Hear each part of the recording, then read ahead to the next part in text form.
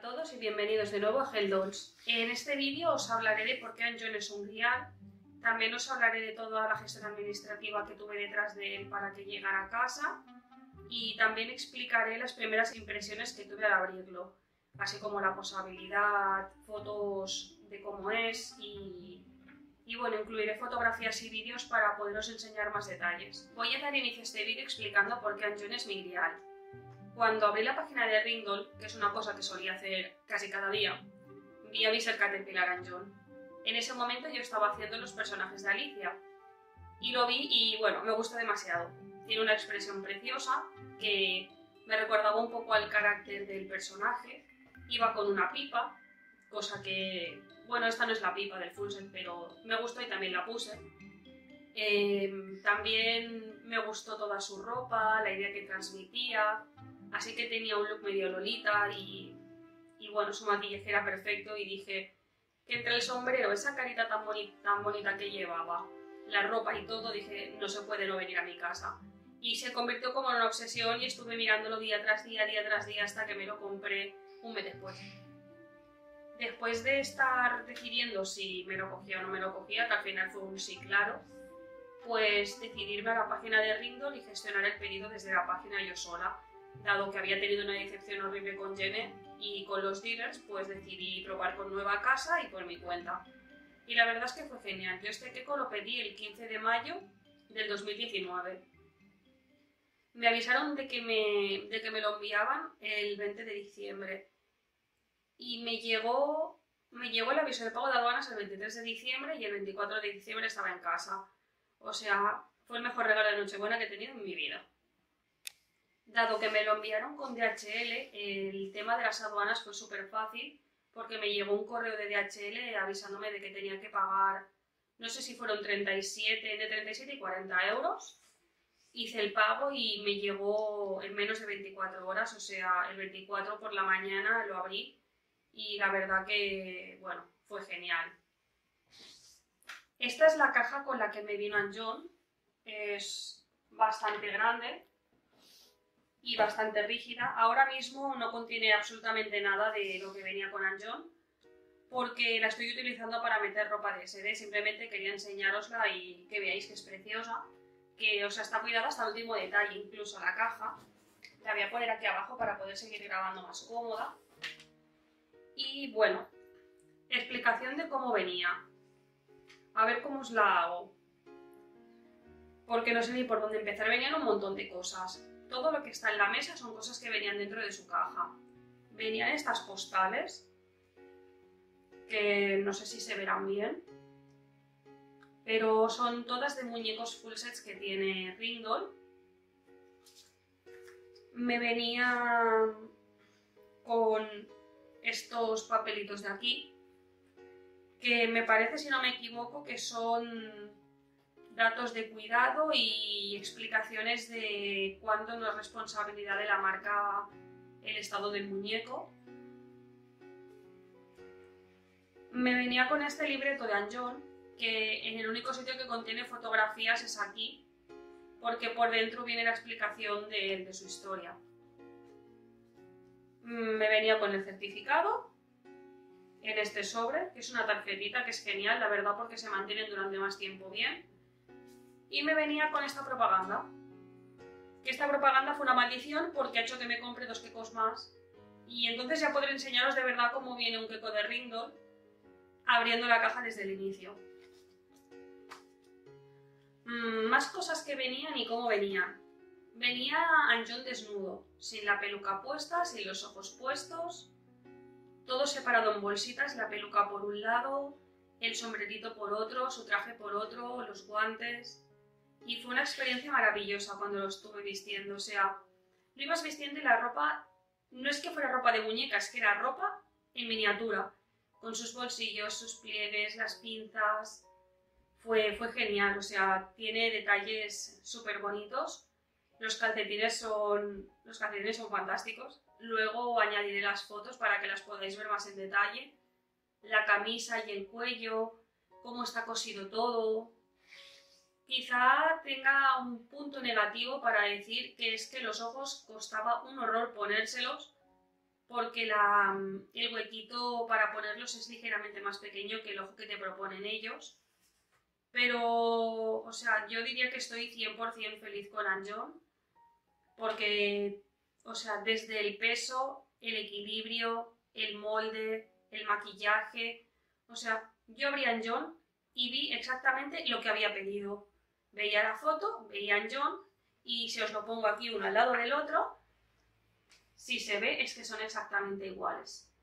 No te prometen una cosa y te dan otra, te dan exactamente lo que has pedido.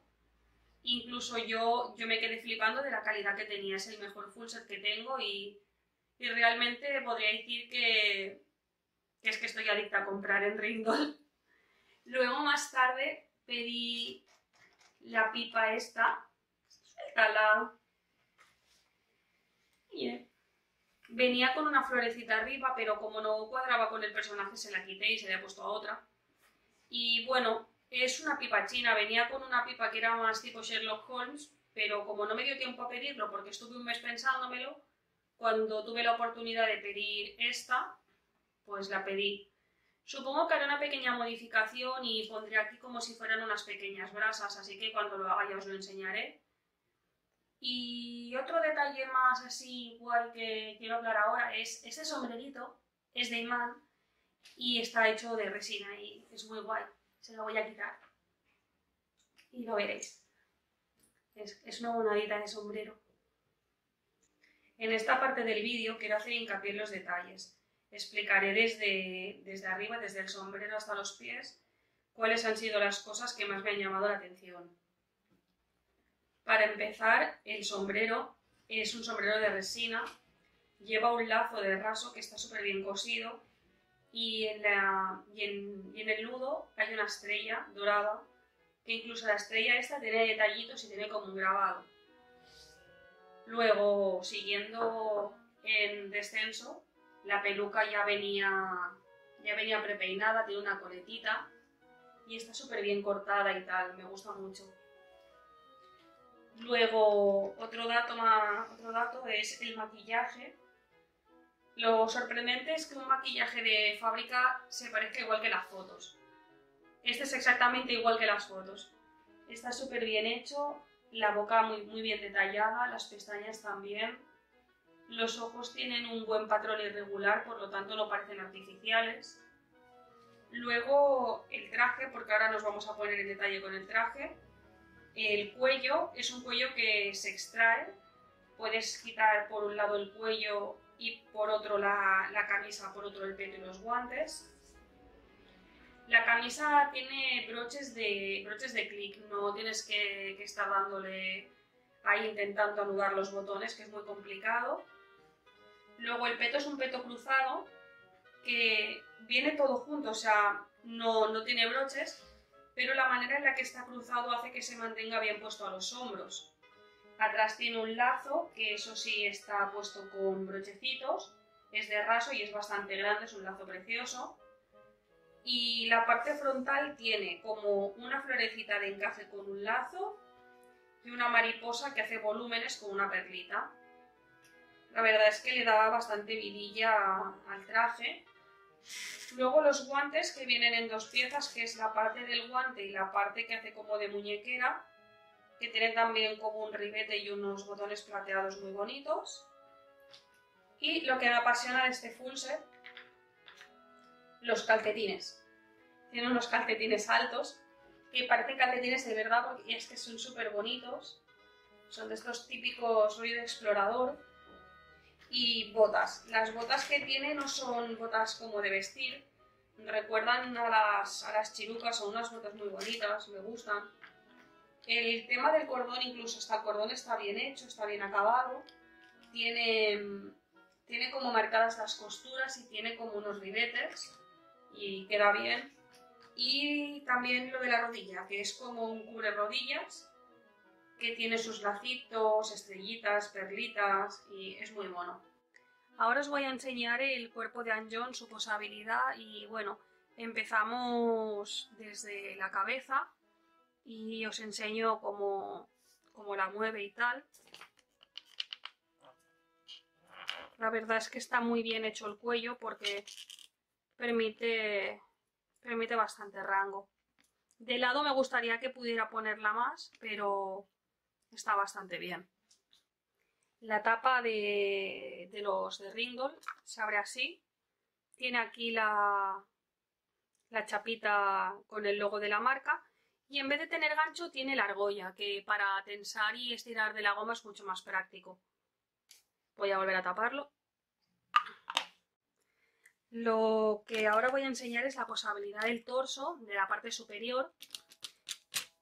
Da para ponerse así, inclinarse bastante hacia atrás, porque aquí tiene como, como un relieve donde el pecho se queda, se queda encajado, permitiendo que la postura se mantenga y no teniendo miedo de que salte o que te pueda pillar la mano. Igual así, por detrás, también hace exactamente lo mismo y se mantiene inclinado hacia adelante. Con la ropa esto apenas se percibe, bueno, no se percibe visualmente, se percibe al tacto, haciendo que las poses sean bastante, bastante variables. Luego os enseñaré unas cuantas poses hechas ya con él para que veáis cómo posa el cuerpo para fotografía. Os quiero enseñar también la posabilidad de los brazos porque tiene un rango de movimiento súper grande y las, las poses que le haces se quedan totalmente estáticas.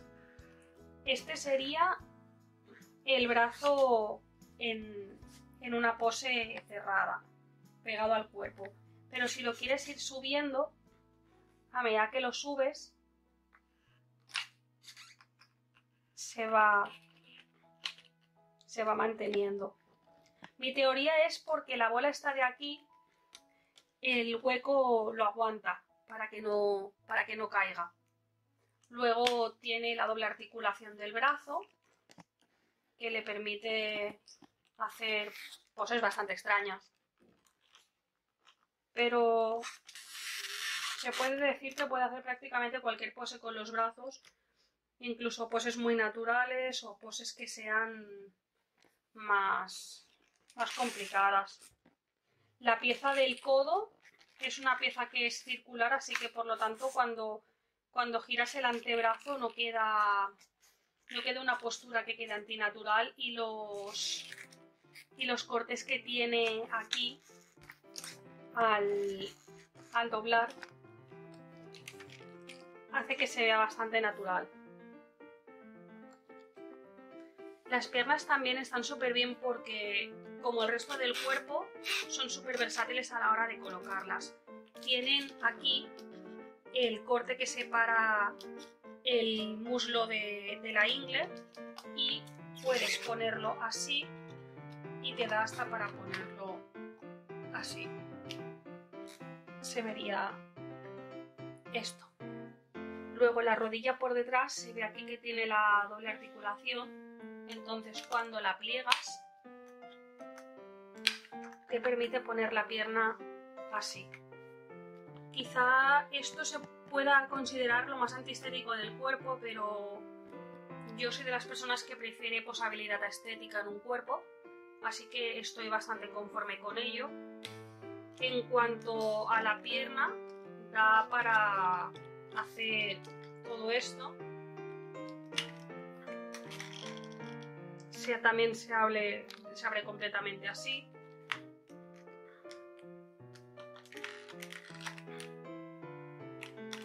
No es un cuerpo que, que sea difícil de posar, es bastante predictivo. Puedes ponerlo en poses muy extrañas. Lo he dicho antes. Y bueno, lo que menos se articula del cuerpo de, de Ringdoll, este es el el Ring Teenager 3 y yo creo que lo que menos articula es el pie, pero ya está bien que no se articule demasiado porque cuanto más se articula más pierde el equilibrio cuando lo posas. Y este muñeco es de los que se me aguanta mejor sin peana.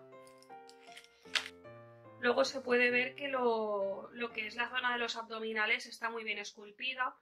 Han marcado el ombligo, la cadera hace una, pequeña ensanchación y está bien porque la cintura es estrecha, se ve un cuerpo muy masculino, pero cintura y hombros están proporcionados, que eso es lo que les da lo que le da todo el equilibrio. También tiene marcada la zona de las clavículas, el cuello y más ligeramente, mm, no sé si se percibirá del todo, los músculos de los brazos. Al ser un muñeco que no va con que no va desnudo, no pretendo blushearle el pecho. Y todo lo que es la espalda y la parte trasera en general está también muy bien esculpida, está definida la línea de la columna, se percibe desde detrás aquí también la cadera. Incluso las piernas tienen un poco marcada la forma de la musculatura. En lo único que considero que han escatimado un poco es en las manos. En mi opinión personal, puedo decir que Ringdoll actualmente es mi marca favorita porque sus productos vienen bien, ya sean full sets o sean solo cuerpos o solo cabezas.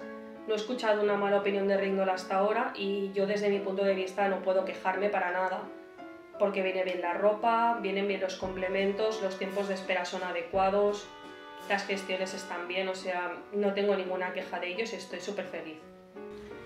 Con esto termino la review de Anjon y os dejo con Serio, que va a ser la estrella del próximo vídeo. Voy a empezar una serie de tres vídeos donde explicaré muñecas de medidas especiales. El que voy a empezar la semana que viene va a ser el, de las Bets de Yurdon, unas muñecas serie preciosas, aquí tengo un ejemplo de ellas.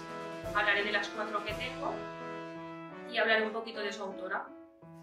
Espero que os haya gustado mucho y quiero dar un agradecimiento especial a Silvia Baraji porque me comentó la semana pasada que, que los vídeos no miraba a cámara lo suficiente, que se me veía un poco nerviosa y retraída y he hecho mi mejor esfuerzo para que con su consejo esto vaya cada vez mejor. Así que os dejo por esta semana y hasta pronto.